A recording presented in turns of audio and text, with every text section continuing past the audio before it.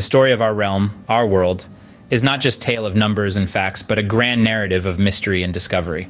In the words of J.L. Dreyer, an esteemed astronomer, the Earth centered system is in reality absolutely identical with the system of Copernicus, and all computation of the places of the planets are the same for the two systems.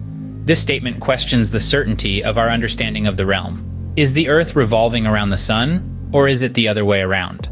In the grand scheme of things, does it really matter which celestial body is at the center of it all? The truth is, if the Earth is a spinning ball, it's going to look like it's flat and feel like it's stationary. All observations will show us that the Earth is stationary, even if it isn't. This is the current paradigm.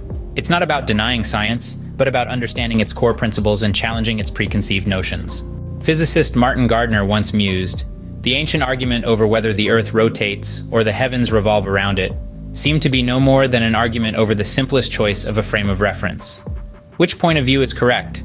Do the heavens revolve or does the Earth rotate? The question is meaningless a statement that forces us to reconsider our perspective.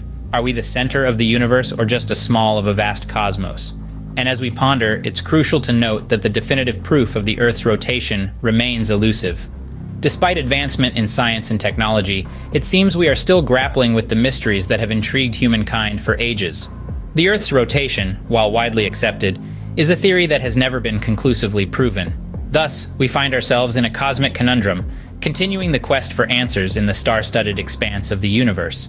Relativity, the special and general theory, as cited in Stephen Hawking's A Stubbornly Persistent Illusion, states To the question whether or not the motion of the Earth in space can be made perceptible in terrestrial experiments, all attempts of this nature led to a negative result.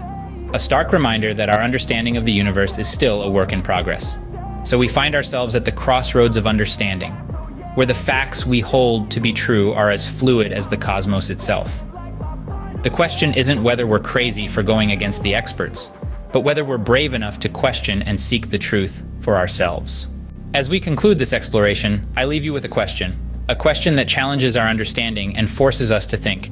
If all terrestrial experiments have failed to prove the Earth's motion, does it truly revolve around the Sun, or is it stationary? This is the question that continues to perplex us the question that keeps the mystery of the universe alive.